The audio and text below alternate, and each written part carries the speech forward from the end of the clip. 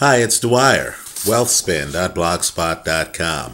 Let's go wealth spinning for March 21st, 2012. There is an excellent article in Opalesque, O P A L E S Q U E dot com on Jim Rogers' view on the economy. Jim Rogers is the gentleman who started the Quantum Fund many years ago with George Soros. Quite frankly, he is one of the world's best investors. He has a keen insight into the market. And Jim Rogers, quite frankly, believes that while 2012 might be good for the stock market, that the United States is overdue for a recession, which he sees happening in 2013 or 2014. The article notes the following. It quotes Rogers as saying, the overall situation is getting much worse because the debt is going through the roof for all of us. You should be worried about 2013, 2014, but overall 2012 won't look so bad. Right? The article goes on to talk about the increased debt load as well as the historical cycles of the United States economy. I believe it is a must read.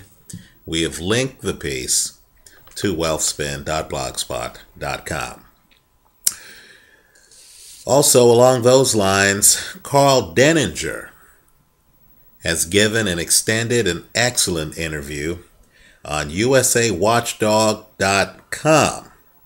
And Mr. Denninger, who operates Market DAC uh, excuse me, market-ticker.org, an excellent site, expresses his thoughts that the EU debt crisis is far from over, that real estate still has further to drop in the United States, and that we're headed for another crash, in Mr. Denninger's opinion, before the end of the year.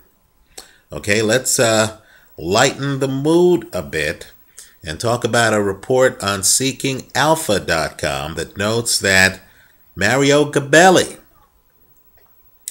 and GAMCO has actually increased its investment significantly in Clear Channel Outdoor Holdings.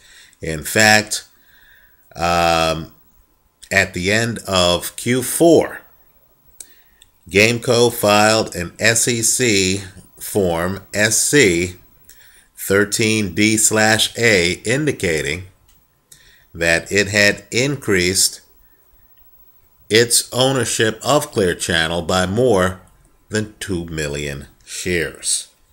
You definitely want to keep an eye on that. You want to check the piece on seekingalpha.com. We've linked the piece to wealthspin.blogspot.com. Finally, let me just note an article on Yahoo's finance page that notes that Amazon has agreed to buy Kiva Systems for $775 million. I think this is a major acquisition. Uh, Kiva Systems is a robotics company.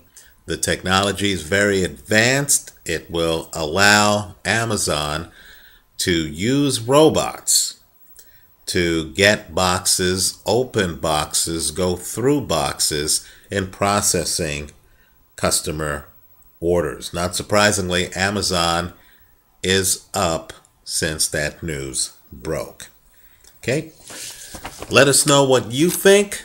I hope you visit us at wealthspin.blogspot.com. Thanks for watching.